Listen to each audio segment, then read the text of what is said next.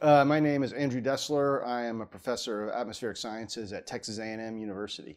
Yeah, so it's really interesting to look at sort of the evolution of our understanding. I think if you went back 40 years is the first time people started thinking about, well, what's going to happen to atmospheric humidity? And there's a famous paper in the 60s by Wetherald and Manabe, and you know, they said, well, the atmosphere is going to maintain constant relative humidity. But they, it took decades to actually demonstrate that that was the case. And for a long time, uh, skeptics would say, well, do we really know that atmospheric humidity is going to stay constant? Because if that happens, that means you get a lot more absolute water vapor as the climate warms. That's a very positive feedback.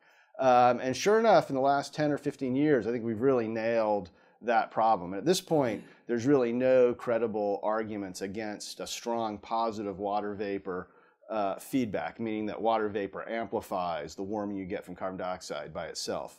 Um, and so then clouds is actually a much harder problem. And, and the difficulty with clouds is that clouds do two things. They reflect solar ray, sunlight back to space. That tends to cool the climate.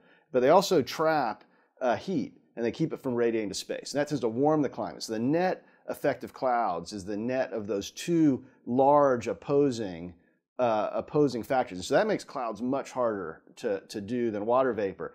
And so we haven't, I wouldn't say we've nailed the problem of clouds yet but we understand it much better now than we did five or 10 years ago. And it's becoming increasingly hard to make the argument that some people make that clouds are going to stabilize the climate against carbon dioxide. There's really no evidence to support that.